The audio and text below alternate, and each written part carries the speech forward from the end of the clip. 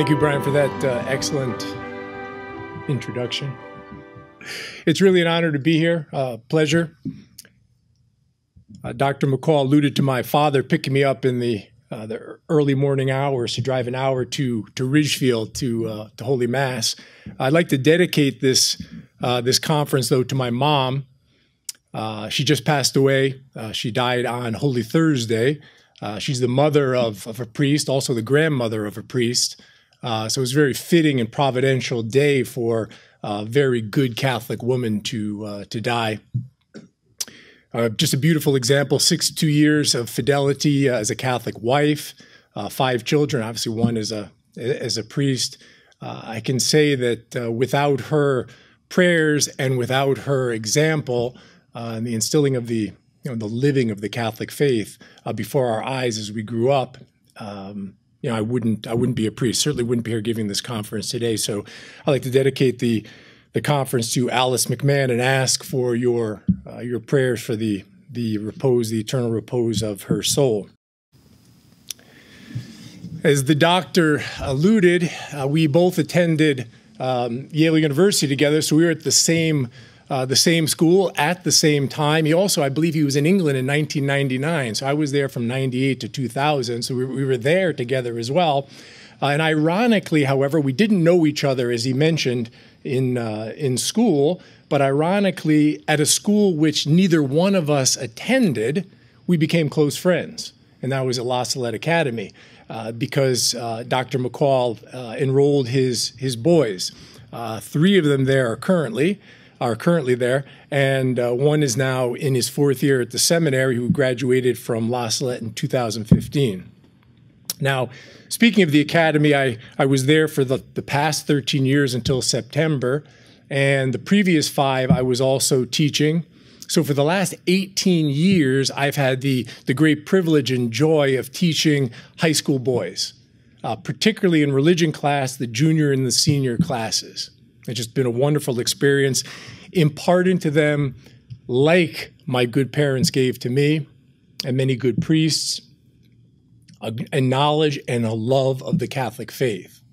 In order to do that, though, we have to teach in these times, we have to equip our young people with the ability to think and to see things as they are, to perceive reality, to recognize reality, and then to be able to live in this world.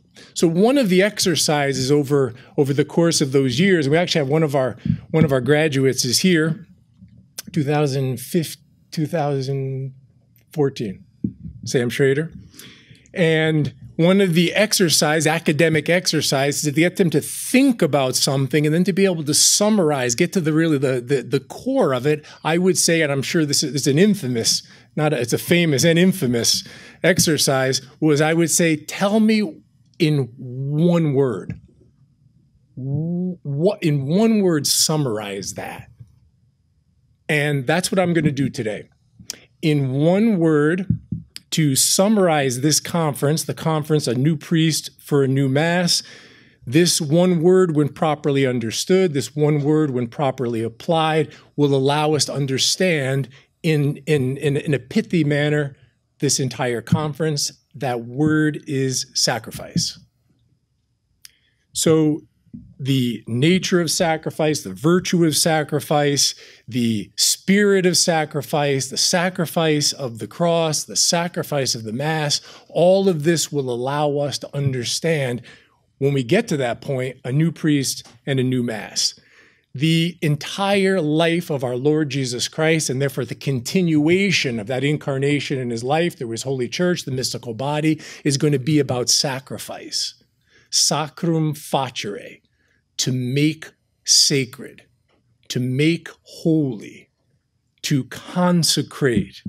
Our Lord said he came to make all things new. In other words, to make all things sacred, to elevate everything, to baptize, in a certain sense, everything in the the beginning of the conference, I'd simply like to uh, provide then a context. The, the, doctor did a wonderful job in providing that general framework uh, in his in his in his very Thomistic way of getting everything framed perfectly for us now to follow. But a certain context by reviewing and for most of you, or for all of you, it should be a review, and then to provide, provide a connection in this review. If we look at sacrifice just in the wide sense, the wide sense of this term in the definition would be every inner act of self surrender to God and every external manifestation of the inner sacrificial disposition. In essence, this is our morning offering. We offer Almighty God this day all its joys, its works, its sufferings, etc. through the day. Everything can be made sacred. Everything can be sacrificed. This is going to be our prayers, our mortifications, almsgiving, the virtuous actions that we do throughout the day, even the smallest of things in the state of grace for the proper intention can be sacrificed. However, getting closer to the point, in a more narrow liturgical sense, and the doctor put a, a, definition of sacrifice up there in this sense the external religious act in which a gift which is perceptible to the senses, is offered by an ordained servant of God in recognition of the absolute sovereignty and majesty of God. And given the fall, given original sin, that is to be offered, that external act, that external offering by the ordained minister in atonement for sins. This, in the history of the world, up to and including the Catholic faith, is the very peak or summit of adoration, the sacrificial act. This will be the, the natural law demands adoration, and the summit of that adoration throughout human history will be sacrifice in this more narrow liturgical sense, time immemorial. We go all the way back to Cain and Abel. We look throughout the entire world, and the history of the world before Christ, the ancient Egyptians, the Babylonians, the, the Phoenicians, the Greeks, the Romans, in the East, the Chinese. Throughout the entire world, in the history of the world, we're going to see this type of liturgical sacrifice. We especially will see it then, since it's the peak of adoration of Almighty God, we're going to see it in the revealed religion. In the Old Testament, then the chosen people multitude of unbloody sacrifices, numerous bloody sacrifices.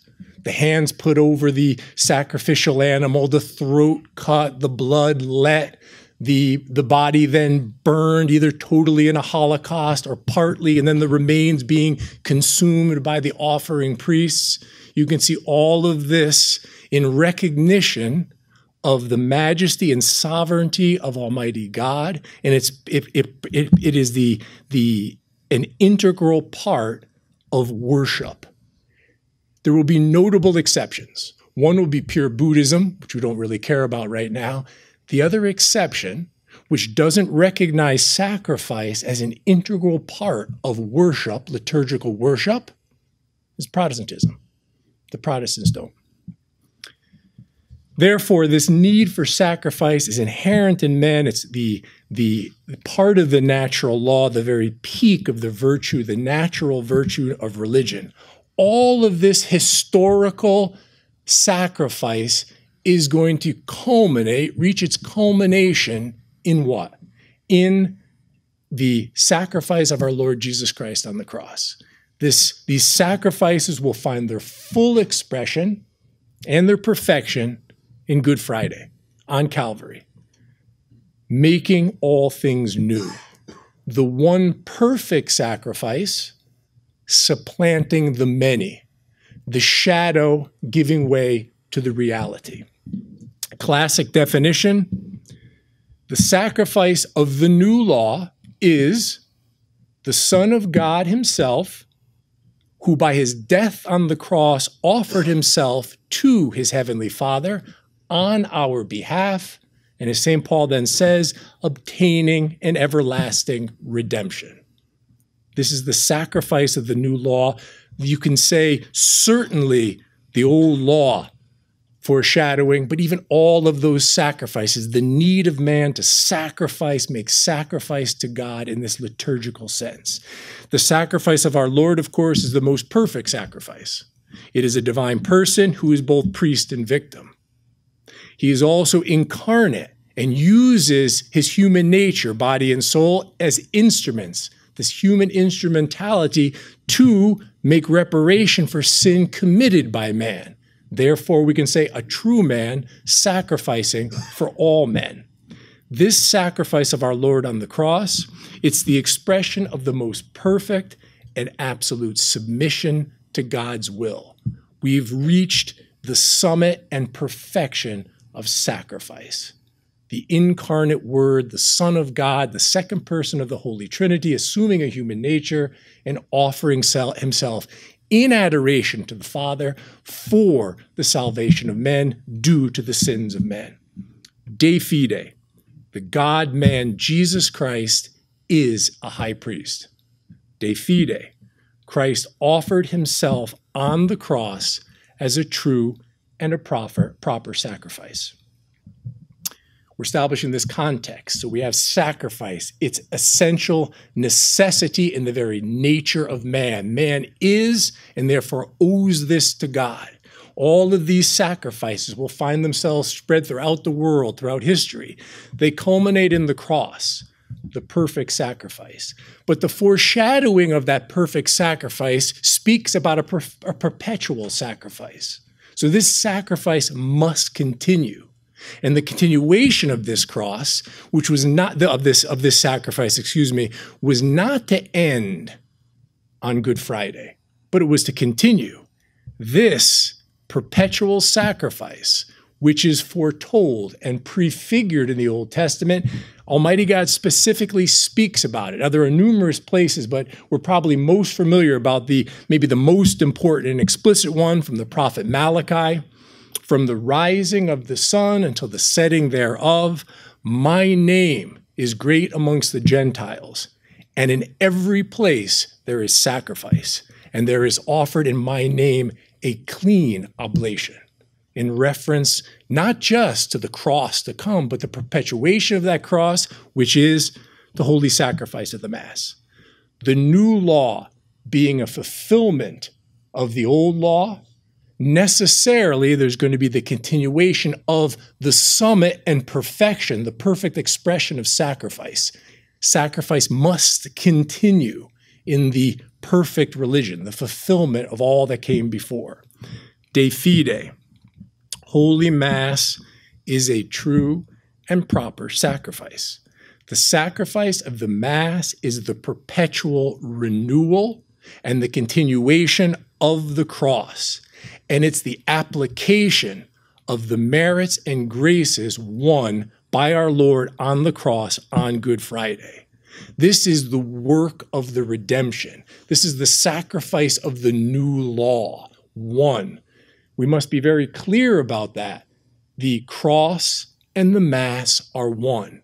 We can say it's the acquisition of the graces and the application of the graces. The objective redemption, when all graces are won in a bloody manner on one day, at one moment in human history, and then the continual application of those graces until the last man, to the last day of human history.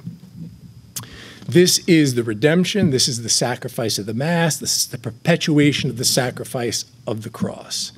Now, St. Paul will speak about Christ ever, and this is this is now a continuation and a greater emphasis upon this perpetual sacrifice. Christ ever liveth to make intercession for us. He, he writes that to the Hebrews in his epistle to the Hebrews. We know that our Lord Jesus Christ now reigns on the right hand of God the Father. His intercession for us is not meant to cease, it is meant to continue. The basis of this continuation, of this intercession, I should say, it's the cross, it's Calvary. This is what he is offering in heaven now the perpetual sacrifice. Our Lord is perpetually and eternally offering his own death to the Father on our behalf. The great Frank Sheed has a beautiful quote Mass, then, is truly heaven, so to speak, as it were breaking through to the earth so that it can be seen by men. It's a participation in the perpetual liturgy which is happening in eternity. And if we're saved, if we leave, live a holy life and die a holy death, we'll participate in that, in that liturgy forever and ever. De fide. In the sacrifice of the Mass, Christ's sacrifice on the cross is made present, its memory is celebrated, and its saving power is applied. De fide. In the sacrifice of the Mass and in the sacrifice of the cross, the sacrificial gift and the primary sacrifi- sacrificing priest are identical. Only the nature and the mode of the offering are different. So there we have now, before we get to the priesthood in the last part of this initial part, which establishes our context within which we'll be able to look at this new thing, this new mass, and this new priesthood, we're brought then to the priesthood itself.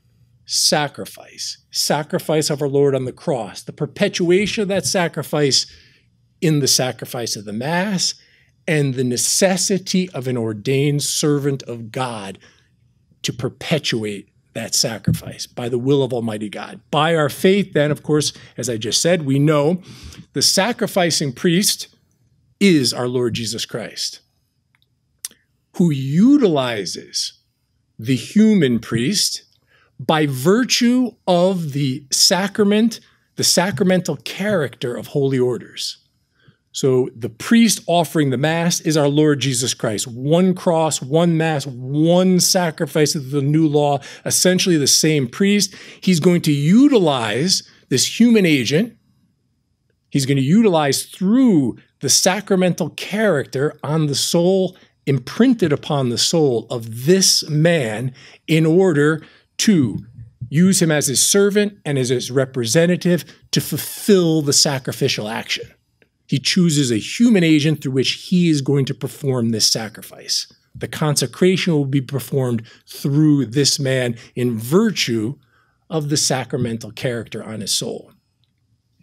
It's very important to rely upon the, the church's infallible teaching. So we go to the Council of Trent, the Great Council of Trent. Session seven dealt with the Catholic priesthood. And the very first chapter establishes this quote, sacrifice and priesthood are, by the ordinance of God, in such ways connected, conjoined, as they have existed, both existed in every order of salvation. Whereas, therefore, in the New Testament, the Catholic Church has received by the institution of Christ the holy and visible sacrifice of the Eucharist, it must also needs be confessed that there is in that church a new, visible, and external priesthood into which the old has been translated. Trent establishing that intimate connection between the sacrifice of the Mass and the sacrificer, if we can say that, the priest, the ordained minister, both by the ordinance of God, both by the institution of our Lord Jesus Christ, and essentially that's happening on Holy Thursday. Mediator Dei, Pope Pius XII, a little more recent, 1947, this encyclical on the sacred liturgy, and this is a very important point. Pope Pius XII says, the unbloody immolation by which, after the words of consecration have been pronounced, Christ is rendered present on the altar in the state of a victim is performed by the priest alone. And by the priest, so the qualification, priest alone and by the priest insofar as he acts in the name of Christ, not insofar as he represents the faithful. Very important, the church's magisterium, as we should know and will certainly see. So the sacrificial rite, it forms and it informs the Catholic priest. The priesthood is then defined by sacrifice by the sacrifice of the cross, by the sacrifice of the Mass, by the virtue of sacrifice, by the spirit of sacrifice, living that spirit. When you look at a properly formed and then a priest who conforms himself properly to that formation, we see what? We see a celibate clergy. the sacrifice of the potential to be married and have a family. We have the divine office, this burden, the officium divinum, the munus, the, the divine, the divine burden being taken on, where the priest now has to pray for the whole church, pray under the pain of mortal sin, and pray that, that prayer daily. You have the cassock, the black cassock, that external manifestation of a death, of a perpetual sacrifice, of someone who has given himself to conforming in a more perfect way by the will of God to the great eternal high priest, our Lord Jesus Christ. The mortification, the whole life, all of that goes into just speaking, both at the very center and all the way to the periphery, that the priest is meant for sacrifice. St. Paul to the Hebrews again, for every high priest is appointed to offer gifts and sacrifice. Then that Trent, it's very important to keep that in mind. Sacrifice and the priesthood have ever been so conjoined, so connected, that by the ordinance of God, they've existed in all ages. All right, we have the, the context here sacrifice, cross, mass, priesthood. Now it's time to begin looking more carefully at what has transpired. What has transpired to bring about a new mass and this new priesthood necessarily? start with a quote of the great Archbishop Lefebvre, early quote, when, uh, not early quote for him, obviously his great church life existed well before the society, but the, his, in 1974, so very soon after the whole implementation of the new Mass, December 2nd, 1974. If we change the liturgy profoundly, then we change the priesthood.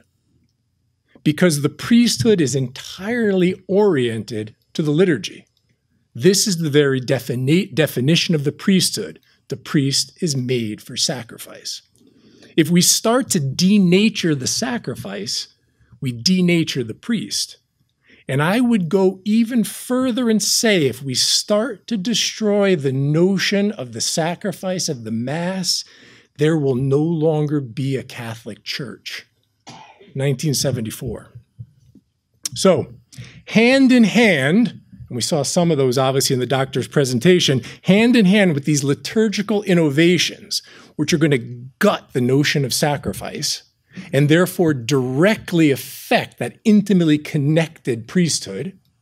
We also have in this bubble around it a new theology of the priesthood, of the Mass, which has a very strong ecumenical bent, as we know, which is introduced, and that is going to distort and confuse the roles of the priests and the faithful.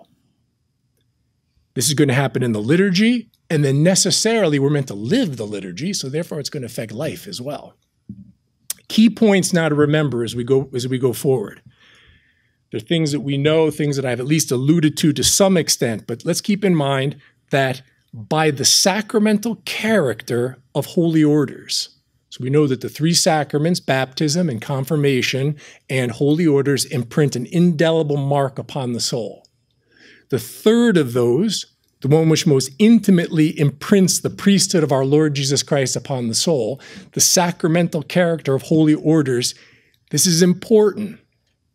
This is crucial. This is fundamental in this, this world, this egalitarian and democratic world. This makes that man unique. This makes that man in his very being, in other words, his soul is now, as St. Augustine uses the analogy of a coin being imprinted. And he says that's what happens when the sacramental character goes on to a soul. There's a change in the very being. It's now the imprintation, the, the imprinted, the printing of the priesthood of our Lord Jesus Christ in various levels. But with the sacramental character of holy orders, he is unique he is special. He is objectively elevated. And this is a separate human being from everyone else. As, in a different way, the sacrament of baptism does the same thing. It separates entirely those beings, those human souls, which are imprinted with that sacramental character. This sacramental character then makes this man what we have traditionally termed an alter Christus, another Christ in a very special way. And he's now been made this, this, this character is now essential for sacrifice. It's orientated to sacrifice. What we're going to see now, let's just look at this new theology in the liturgy, which attacks sacrifice specifically. Firstly, the ambiguity in the new rite of ordination. The old rite of ordination, very clear. Start to finish, you are being ordained to offer the sacrifice both for the living and for the dead. There's ambiguity now in the, the new rite of ordination. I've already spoke about ecumenism, the rampant false ecumenism, the exigencies of that false ecumenism, they of necessity have to attack sacrifice and priesthood. The doctor showed some of that already about the need to get rid of those things, even in a radical way, which might be stumbling blocks to the so called separated brethren, regardless of whether they're revealed or not, regardless of whether it's the will of God or not. We then look at the, especially the, the three principal parts of the Holy Mass, or I could say even before that, this, this, this overemphasis on the supper, the supper. No one says that there's not a, St. Thomas alludes to it as the sacrum convivium, the sacred banquet. But that's a sacred sacrum facere, a sacrificed banquet. We go into that, of course. We look at the three principal parts of the Mass the offertory, which is also known as the oblation, the consecration, and then the communion. Luther, he speaks of the offertory as an abomination. An abomination because it stinks of sacrifice. And the reformers have to get rid of that for all the various political, social, and religious reasons. The offertory is the dedication of the sacrificial gifts. It's the sacrifice prepared. It's the fixing of the intention of the sacrificing priest and the purpose for which the sacrifice is being made at that time. It enshrines the traditional Mass enshrines the teaching of Trent. Since the Reformation, it's been a bulwark of orthodoxy. What do they do, as the doctor already showed?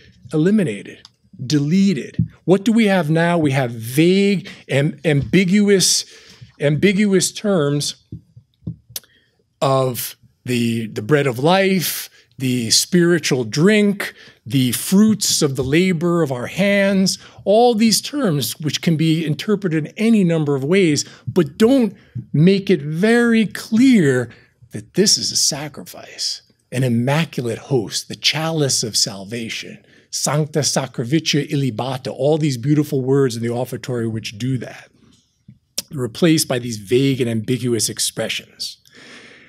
I want to just a quote. I'm going to continue on with the, the, the consecration, the communion, but the which I think it's an important time to insert it here. Archbishop Lefebvre again. The new mass is not formally heretical, but it indirectly favors heresy because it creates an atmosphere that does not sufficiently uphold the fundamental truths of the Holy Mass. The rampart of the faith constituted by the liturgy has been destroyed. Why should one be surprised that faith disappears and the people no longer believe in anything and are ignorant of the very rudiments of the faith? This is the logical outcome. It is fatal, says the Archbishop. That's especially with that offertory, with an elimination of all these things, an omission of all these things which make sacrifice so prominent in this, these principal parts of the Mass. The consecration, this is obviously the sacrificial, as we know, the sacrificial act proper. It's the very center, the, the summit, it's the Holy of Holies. Very clear both by the typography in a traditional missal, if you've ever looked at it, not just your missal, maybe even the hand missals. It's been a long time since I looked at one, but the, the missal itself, it's very clear something different's happening. Boom. Now there's space, there's big, there's different, um, uh, different size uh, font, etc.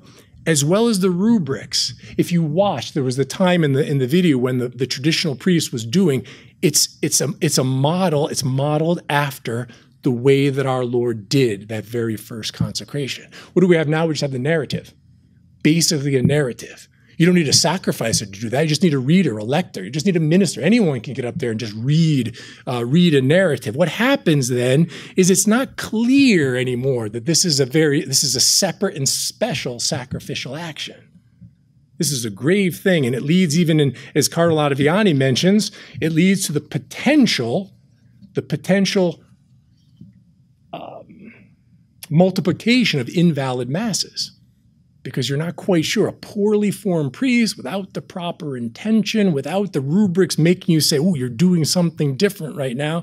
There's some very, very big problems there. Next, we have the, the communion, the incessant attack on the real presence, either by gross neglect or simple disrespect, both liturgically and paraliturgically in the liturgy itself, just a it just a it's just not any different than anything else. When you understand the meticulous care from the time you're trained as a seminarian to say the mass up until even even the preparation the steps to get to the, the priesthood the, the meticulous care which the church through her rubrics based upon her theology that this is the body, the blood, and the soul and the divinity of our Lord Jesus Christ. And any sensible particle, no matter how small, is the body and the blood and the soul and the divinity of our Lord Jesus Christ. And therefore, necessarily, it must be treated thus. And what we have without the genuflections, not the consecrated uh, vessels, the purification, all the different things, even to instruction. I remember when I was in the seminary in, in Minnesota and the Archbishop uh, there, uh, Weakland, who was just awful, God rest his soul, speaking in the instruction after one of these mass you saw in the new mass there, they're preparing all these multiple chalices. That's to pass out. The instruction afterward how, how do we dispose of the bread and wine after the liturgy? Now, he's not saying there's no, this is why when the Archbishop says it's not formally her- heretical, he doesn't say we don't believe in the real presence of Jesus Christ. That's a formal heresy. But to say we're going to put the bread and wine, take the, the wine needs to be disposed carefully down a, whoa, whoa, whoa, this is what we have. So after 40 years, of this indirect and insidious attack upon the real presence, what do we have? What's the result? 10%? I don't even know what the what the what the the the, the numbers are now. 10, 12, 20%, 9%, wherever it might be, of Catholics believe in the real presence. This is an attack because it attacks the sacrifice when there's no victim. Well, there's no sacrifice because a sacrifice produces the sacrificial victim, which is then consumed in Holy Communion. The completion of the sacrifice, the sacrificial act brought to completion, as we had those foreshadowings in the Old Testament. The intimate connection between the real presence and the sacrificial nature of the Mass. It's not really Christ, it really wasn't a sacrifice the real presence is attacked by Protestants, by modernists, by ecumenists. The real presence, the sacrificial nature of the Mass. Now we'll look at the some attacks directly on the on the uniqueness of the ordained minister, the Catholic priest. What we have, and I've alluded to this already, we have starting in Vatican II, certainly prepared before like all the craziness that erupted, but a an exaggerated notion and emphasis upon this common and universal priesthood of the people.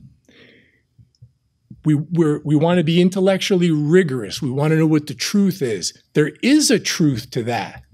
Many of you have probably encountered that the Protestants will quote St. Peter's epistle, a priestly nation, or uh, the, uh, uh, the, the, the people, the priestly people. Well, it's true. Again, the, sa- the sacramental characters, three of them, what do they do? It's a participation in the priesthood of our Lord Jesus Christ. Therefore, when we're baptized, we now have a certain participation. But St. Thomas makes it very clear in his Tertia Pars, question, I believe, 63 or 83. I couldn't remember offhand. He says that this is now a passive participation. By baptism, and the church has never not emphasized the absolute necessity of this. So much so, as we all know by our catechism, in, in, in the state of necessity, in a case of emergency, anyone can baptize. You get the nurse in the hospital to baptize the little baby. It doesn't matter what you don't ask her what religion she is. Please do this. This has to be done. We have to have this, this baptism done. That participation is a passive participation. It is not, as St. Thomas says, the ministerial priesthood, which allows confection of sacraments and distribution of sacraments. It's a different participation, a, a, a seriously different participation. This is going to be enshrined in Lumen Gentium, in the, doc, the, the documents of the, of the council. In the paragraph, the people of God and the universal priesthood. And if you read this, it's just typical modernist writing. You have truths and even some emphasis on the priesthood. And then just like on the Latin, Latin has prime of place, and we must use Latin. It's, it's from antiquity. However, for pastoral reasons, if we want to totally destroy Latin, go right ahead and do it. Okay, it wasn't exactly said that way. That's the result, though, of course. And that's what happens here. The placement where this is placed, it's the universal priesthood is placed first. The content, content is ambiguous, but allows for the interpretation. You can be one of these so called conservatives who scratches in there and finds it. You could do that, but you have to be honest and admit that the other side could do the same, which is exactly what the doctor showed with the with the with the mass there. That the Anglicans can say it, we could say it, everyone can say it. Well, if that's the case, is it really a Catholic mass? So, Lumen Gentium, and what's going to happen after the council? I mean, it's just incredible. You look at, look any of the historical documents, preaching, teaching, writing by these so called experts, continuously reiterating this universal priesthood, which is, again, is it formally heretical? No, there's truth there. There is a universal priesthood based upon baptism, and it's a participation passively to be able to receive God's grace to be able to receive it specifically through the sacraments. We're then going to have it enshrined, 1969, the Novus Ordo. You read the Ottaviani Intervention, this universal priesthood. 1983, a new, a new code of canon law enshrining this universal priesthood. 1993, a new Catholic catechism doing what? You guessed, enshrining this new universal priesthood an attack upon the uniqueness and the sacramental character which is given and imprinted on the soul in the sacrament of holy orders. Looking a little bit more at the masses, the true mass and the new mass. Indications from the true mass. The priest is acting in persona Christi. Some things which are maybe not even perceptible to many people. Maybe you've never even heard some of these things before. The first one, probably not. There's an admonishment when you're preparing, you're learning how to say the Mass, and the rubricist and the liturgist will say, from the time you wash your hands and put that amice on, the priest is, it should, to the very best of his ability, it's not always possible. You get little boys who are serving Mass, you've got to tell them things. You're meant to no longer speak profane words. You're no longer meant to speak. That's the main reason why the sacristy is silent. It's the antechamber of the sacrifice. It's where the alter Christus assumes Christ. It's not me anymore. That emphasizes to the priest from the beginning. I've always been draconian in that in sacristies. People don't understand. Shh, that's enough. If you don't know, for the for the, for the boys, if you you could have Sam over there taking notes wait, if you don't know your role serving before, if I'm vesting and you not need to be tell, telling people what's going on about where you where you're moving or something during mass, get out. You don't belong here now. You should have already been prepared out of respect for the for the uh, for the for the holy mass. That the eyes cast down. It's to avoid human contact. Contact. It's recollection on the part of the priest, even even when the priest in the traditional mass turns and says Dominus vobiscum, which is an inv- which is giving the Lord, receiving the Lord, and inviting the people to pray at a public part of the mass, he's instructed to keep his eyes down. Now, you look at the instructions, one of the things we'll get to later on, I might not mention it specifically, but the need for the priest at the Novus Ordo to be engaging. This is a conference. Of course, I don't want you sleeping. So I've got to come over here and get some eye contact. I want to make sure people are actually paying attention. This is the time in a conference. We're going to make that act of will now because it's going to go on for another half hour, and you've got to you've got to make that act of will. This is a conference. This is not the Holy Mass. And yet, what we saw with some of those examples, many of you who've, who've, attended, unfortunately, by the grace of my good mother and father, I never attended the Novus Ordo Mass. They never assisted at the whole at the at the Novus Ordo Mass. From 70 on, we went to the traditional Mass. I was confirmed. I was I, I received my communion in the in the traditional Mass. I was I was confirmed by Archbishop Lefebvre in New York in 1976, etc. Thanks thanks to them. But you know yourself, this need to be engaging but no, you're, you're, you're alter Christus. And that's again, that leads right into the ad orientem. Why is the priest facing the altar? He is the head of the whole mystical body. He's standing in the place of Christ. I always like this. People say, "Oh, you turn your back to the people." That's idiotic. That's that's that's a neck going out to a body. You turn, you do that exorcist thing back from 1972, that movie. You do that head turning thing. That's what's happening. You're taking a head and you're turning it back to the body. That's what's happening in that. You talk about you talk about a problem.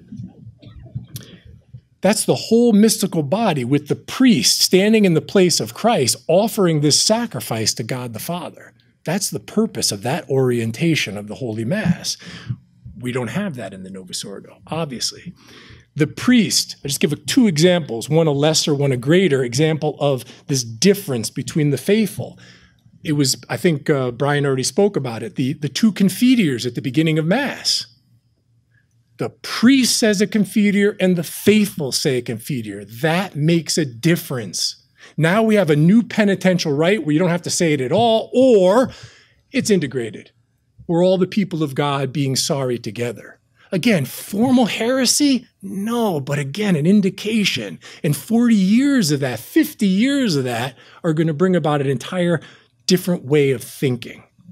The proliferation of the ministers, which will lead me into my last point on this point as well. Ministers, you, it's if if you just looked, you could tell again, if it's a con celebration with nine people, you're still not quite sure, but someone up there is a little bit above everyone else. But my goodness, someone's proclaiming the gospel, someone's doing readings, people are doing offerings, all things are happening. And I always think it's, you know, it's just incredible. You've just, in one sense, he's diminished. And then in another sense, it's like King Farouk, you know, kind of just sitting there in your chair you know, waiting for someone to come up with a palm leaf and to do this. And it's just this, this dichotomy of craziness which is going on. Something is not right. And again, what the doctor said, which is very true, you just take someone. Chesterton always says this. He says it in a number of his, his writings. Uh, I think it's especially, it begins the everlasting man. If you're either in it and you love it, the best other position is to get the heck out of it and to be able to look at it and see what it is. If you could take someone objectively who has no preconceived notions about the faith and said, is this this example adoration of God and reverence and respect and this one it's, it's, it becomes very clear. This leads to and I think it's excuse me um, the two confiteors. I jump to the ministers. I want to go back to the, the greater example of this difference. This is very important, and St. Thomas speaks about this. The, the Mass, at times, the voice of the priest out loud and then silently. St. Thomas says, again in his Tertia Pars, when the words of the holy sacrifice are said out loud, these things are for, for both priest and faithful, like the common prayers. However, those things which pertain to the priest alone, like the offertory and the consecration, these are said silently, and only he, the priest, hears them. This is, again, the rubrics of the Mass, the practice of the Mass, the celebration of the Mass, hinged on proper theology, that there is a distinction between the two. Now we have just an out loud Mass because there's no longer a distinction between what's the priest as as part of the people of God through his through his uh, baptism, if you wanted to go to that extreme, or simply the priest as teacher when he's teaching or he's invoking and telling people, inviting people to prayer, all those parts of the Mass, and then the parts which are sacrificial, the sacrificial action, which begins from the offertory and goes to the consecration completed in the communion. The I talk about the proliferation of ministers, and while we're proliferating these ministers, we're eliminating something. What do we eliminate? We eliminate those steps to the priesthood, something very much overlooked the tonsure ceremony. Tonsured, your hair is cut, the vanity, the beginning of your sacrifice. You're not a man like everyone else. In the old days, it was, you know, a dad, I would go into the barber, I want to cut just like my dad. What is that? That's the one with the hole in the middle. The, the or the hole right down the whole front. the tonsure, the Lord is you say, as the, the the bishop as he's cutting your hair, he repeat the, the psalm. The Lord is the part of my inheritance. And then the steps to the priesthood. Each one of those four minor orders are steps toward the altar protection of the church as the porter. Then you have the lector to be able to read. And then you have the exorcist to expel the demons. And then you have the acolyte who brings the lights right up there to the sacrifice. Gone. They're no longer steps of preparation to the priesthood. Liturgical steps preparing for the priesthood. And then, to me, a grave, grave elimination. It's the, the elimination of the subdeacon.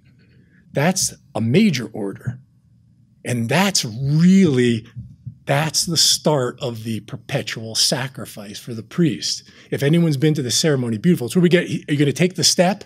To take the step. The that's what comes from the liturgy. It comes from the, the ordination of a subdeacon. They all line up. They're admonished by the bishop. The bishop says, "Now, if you're going to, if you understand what you're doing, and you want to be part of this exclusive club, of course, I'm paraphrasing." Make the step. And it's impressive as they all step forward. But what happens traditionally, the subdiaconate? Perpetual chastity. That's when you vow to be chaste forever in order for your ordination to come so you can be united and married to the Lamb, the Lamb of God.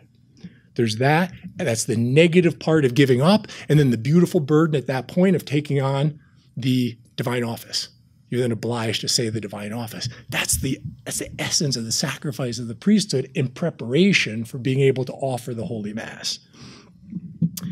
This is all attacked, this gutting, this changing. How I want to finish, I'm not to the conclusion yet, but I now want to so this is all that's happened. What is the result? What do what are, what are can we say what's the you know if we could the, the, official teaching understanding of the mass and the priesthood today? So i looked around and i found very very recent this uh, from boston college in uh, massachusetts of course which is jesuit famous jesuit uh, university on the east coast. And they did a two-year study which resulted in a seminar and then a publication of this study which came out in december of 2018 so this is 2018. This is this is this is recent major study done by a major Catholic university on the priesthood. The seminar, The Priesthood and the Ministry for the Contemporary Church. The exact title was To Serve the People of God, Renewing the Conversation on the Priesthood and Ministry. So this two-year study. Just a, a nota bene at the beginning as we know, no sane Catholic has ever claimed impeccability on the part of the priests. That's from the first one ordained, St. Peter, all the way down to poor old Father McMahon standing before you. And there have been grave, as we know, grave violations and misconduct by priests. We've had in history popes who've had illegitimate children, they've made them prelates. No one's saying the priests are impeccable, incapable in that vessel of clay of offending Almighty God. But that in no way, no matter how emotional the argument might be put before us, That in no way changes the essential revealed doctrine of Almighty God on what a priest is. What we have now is the liturgical and theological revolution now institutionalized. It becomes institutionalized. Abuses, misconduct, etc., it now becomes something institutionalized. This is what the study says. I'm going to go over this for a few minutes. One goal of the seminar, and I think this is indicative of the entire spirit of it, one goal of the seminar was to deepen the theology of the priesthood that began to emerge at the Second Vatican Council.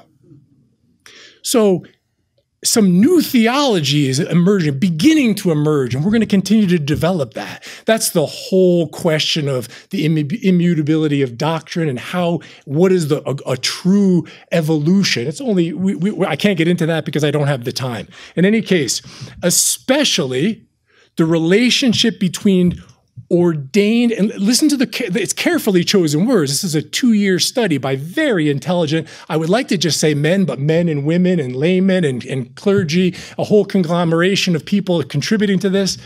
The ordained ministry and the priesthood of the faithful. Those words are chosen. They're, they're chosen for a reason. There's an ordained ministry like all the other ministries and there's a priesthood of the faithful that in itself speaks something. It's talking to us. This is a summary of this. This is the, the essential points.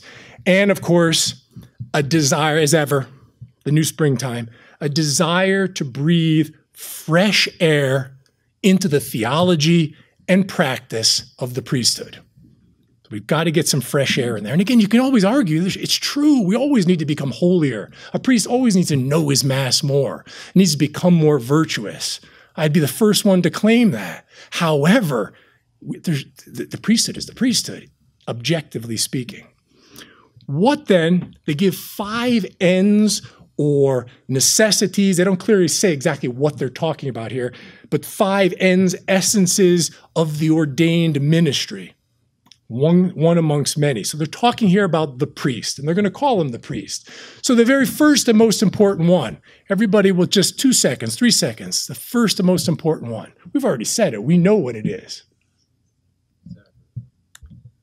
The priest as preacher. Number one, the priest must have the capacity to preach the word of God in ways that nurture the faith, the hope, and the love of the disciples of Christ. It's just that typical language. But again, there's, there's truth to that. Priest's sermons and his preaching and his teaching his confident. Hopefully, I pray to God after you've woken up that you will then say, you know, I got something from that conference. He actually inspired me. I got something. I understand something more. Yes, there's uh, a, a greater faith and hope of the disciples of Christ. Pope Francis stresses that, quote, the homily is the touchstone for judging a pastor's closeness and ability to communicate with his people, unquote. And here, indeed, here is that we're back to the to the to the uh, the, the study. A priest unable to preach well would be a contradiction in terms. You are not a priest. If you can't preach, preach well, you are not a priest. Contradiction in terms. We've all been to some humdinger, some boring sermons. Dear Lord, we hope at the end, if that were the case, you say, I got to get out of here because this is going to be an invalid mass at this point. That's a contradiction in terms up there as you wake up from that, that 45 minute sermon. We get to the second end, which really is the most important end. But we're going to see this is the absolute, this is the, you know, the, the, the last nail going into the coffin. The priest as leader of worship and prayer. Okay we're going to get in this part of this document is about the closest we get to some definition of the Mass. And I say they can't define it, they don't want to define it. They like the fluidity of, of lack of definitions because then you can never pin them to it. You read St. Pius X in the great encyclical Pascendi on modernism, that's exactly what you do. Float it out there, and then you say, Oh, you're denying the priesthood. No, I'm not. Isn't the Mass worship? Oh, yeah, it is. Isn't it prayer? Hmm, yeah, it is. Well, see, I'm a I'm an Orthodox Catholic. The priest as leader of worship and prayer. The priest, according to this wonderful this this study, must have the ability to lead the Christian community in life enhancing prayer and worship. That could be the yoga guy down at the at the street down there. You get the same that same words come in here, or if you want to be mixed martial arts, that will be life enhancing for some people. The life enhancing prayer and worship. Now here we get to the, what I consider their definition of the mass. In presiding at the liturgy, priests gather the community through gospel and blessing into a common ritual action. Again, it's important. In presiding at the liturgy, priests gather the community in gospel. I guess that's the Mass of the catechumens. And then blessing. I'm assuming that's sacrifice. Is that consecration? Is that, well, you get your guess is as good as mine at this point bless gospel and blessing into a common ritual action. That now goes back to what the doctor put up there. Let's radically change. Let's ra- if it, when the circumstances demand, in other words, when the devil really wants it, let's radically change this thing. Continue. Here, we're going to give a nod. Here's a nod. You ready? While priests fulfill a unique role, in presiding in the liturgy. Fruitful participation. There's a, there's a unique role, something there. Dust off those old books and maybe find it. But for fruitful participation in the church's worship for priests, as well as for all the members of the Christian community, it's inseparable from their life of faith, which is entirely subjective. We all know by our Catholic theology, a priest can be a mortal sin and his mass is still valid. But this fruitful participation in this, this liturgy going on, it's inseparable from their life of faith, their relationship with the church, and their manner of engagement with the wider world which again, where this this because ecumenism starts with the separated brethren, and then goes to the non-Catholics, and then it goes to all human beings. And now, as you see with the whole exaggerated green movement, we're ecumenical with the trees and the bugs and the birds of the air. Then it goes on that the three other points, I'll go through them just very quickly. The priest as collaborative leader, constantly collaborating. The willingness and aptitude of the priest must be to collaborate as a leader among lay ecclesial ministers and the whole people of God. Four, so this is the fourth one. Priest is preacher. Priest is leader of worship and prayer. Priest is collaborative leader. Priest as the public representative of the church. He must have the disposition to lead an exemplary life of discipleship within the ecclesial community wait, wait, disciple, No, I'm a priest. I, he's just, but then beautifully we'll note the last, the alliteration in this, the last point, number five. The priest is practitioner of pastoral charity. He must have a commitment to practice pastoral charity in the service of the gospel. And again, that, that's that's beautiful. Sure, we're supposed to be preaching the word of God. We're supposed to be living the gospel, etc. So we have some truths in there, albeit vaguely stated. We have gross omissions. We have the typical modernist lingo and and uh, semantics going on. That's th this is it. This is the Novus Ordo priesthood. Content. They have a couple. Just if I could just say these few key points. They emphasize and re-emphasize I've already spoken about this in, true, in terms of the true participation, the priesthood of Christ, this passive participation from baptism. The, the, the study says it's an absolute key, the recovery of the centrality of baptism. So it's one of these, we'll let, the doctor can tell you during these intermissions about the offense on logic of this. We make a statement, we have to recover the centrality of baptism. So we all say, oh my goodness, we've lost the centrality of baptism. Somehow the church has lost the idea that baptism is absolutely necessary for salvation. Unless you be born again in the spirit and water, you don't go to heaven. Unless you believe and be baptized, you shall not go to heaven. The words of the incarnate word himself, our Lord Jesus Christ. When did the church lose the centrality of baptism? But We need to recover that. Why? Once again, because baptism makes us all priests. And therefore, we've got to emphasize baptism as the sacrament, which once again, in this, this hyper ecumenical mindset, it's a sacrament that, you know, most people, most Christian, most people kind of go for baptism. But it's especially, it's that hidden time bomb to be able to say we're all priests. We've done this crazy overemphasis of this sacrament called holy orders. Enough of that. And then what we'll do is we'll use these spacious arguments, and say, but look at the abuse of the clergy and look at the these. Of course, we have to get rid of this priesthood. We've got it. we all have to. What? Laymen aren't abusing kids. Ah, the Protestant ministers aren't. The Boy Scout leaders, the teachers, the dirty little secret in public schools. Let's not pretend this is a this is a whole different problem in a whole different conference. This analysis, the study says, will situate itself, this discussion on the church's priesthood situates itself under the current discipline. And this is a huge time bomb, which they go to speak about a little bit. We know that the people of God, and many of them are crying out for married priests and for women priests. Unfortunately, the current discipline and we have to, this study, again, it's, it's to me, it's, it's a lack of virility because either you're for that or you're against it or you're going to be on to take a position. You say, let's hide behind the current discipline, which only allows men to be priests.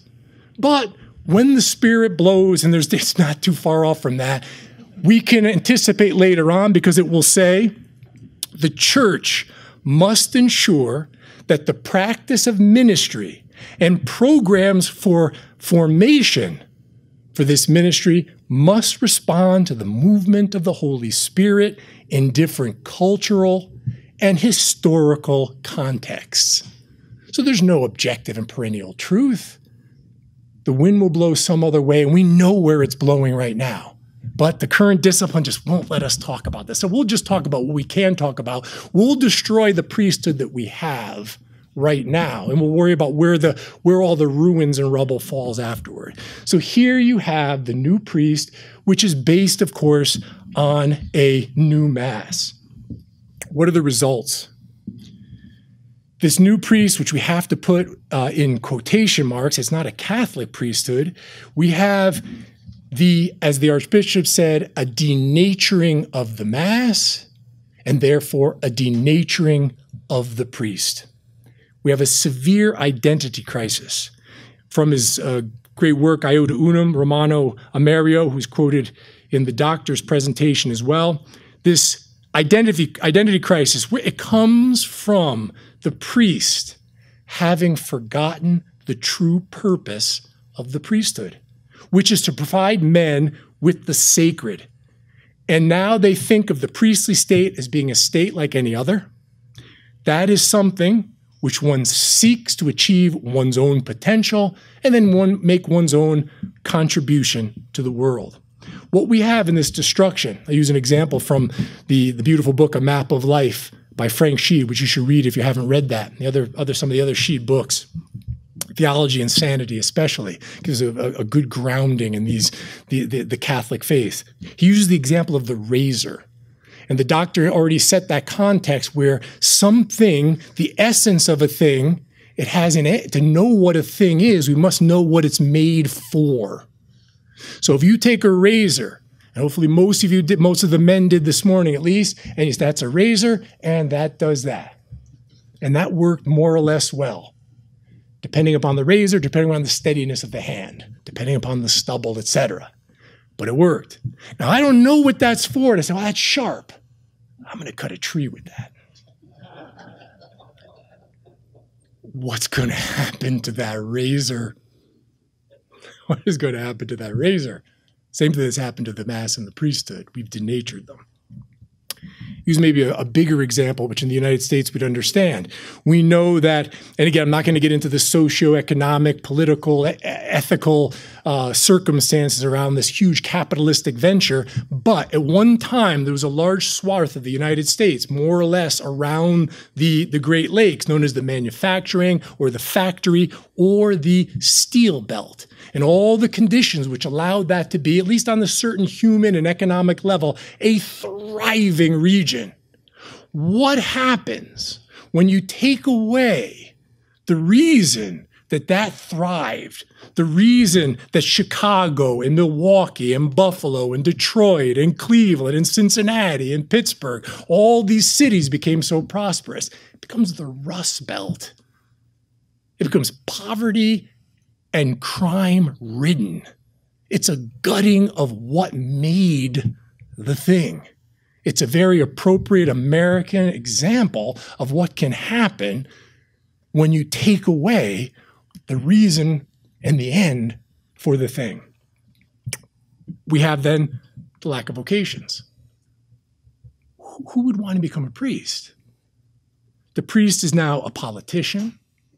The priest is now a social worker. The priest is now, I love this one, a motivational counselor for a faith community. Oh man, is that what I gave up all?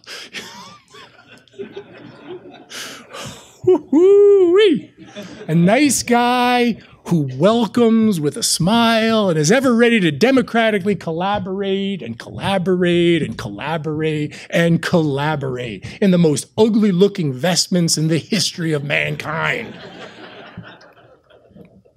None of this, none of this needs a sacramental, sacerdotal character. It's been gutted why would a young man become a priest? And although it still does happen, the huge exodus of priests when this whole thing was introduced and men had more or less decent spiritual lives, more or less decent formation. And all of a sudden you're told you got to wear those butterfly vestments and you got to smile at all the people and try to motivate them during every mass. Oh my goodness, we have a there's a chapel that I say mass in, and you're facing the mass, and you know some of our chapels are like that. You have people who they can get really close. So you're saying the canon of the mass, and it's like this. I can see this guy. I'm thinking that's just awful. He's looking at me. I don't. I don't, I don't want to be looked at right now. I just want to do the mass. I couldn't imagine.